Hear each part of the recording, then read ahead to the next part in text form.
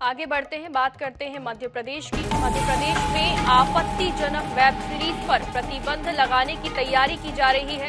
भोपाल में मुख्यमंत्री शिवराज सिंह चौहान ने कहा कि देवकी नंदन ठाकुर जी ने आपत्तिजनक वेब सीरीज़ पर प्रतिबंध की बात की है। युवा पीढ़ी संस्कृति से विमुख हो रही है।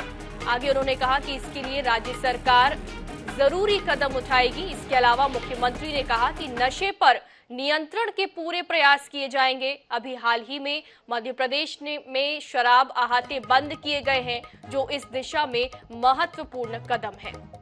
तो मध्य प्रदेश में आपत्तिजनक वेब सीरीज़ पर प्रतिबंध लगाने की तैयारी अब की जा रही है।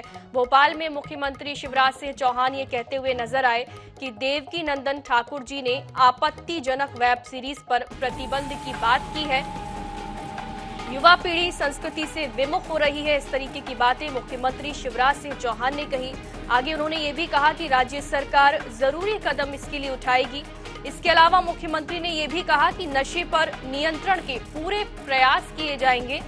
अभी हाल ही में मध्य प्रदेश में शराब अहाते बंद किए गए हैं, जो इस दिशा में महत्वपूर्ण कदम है।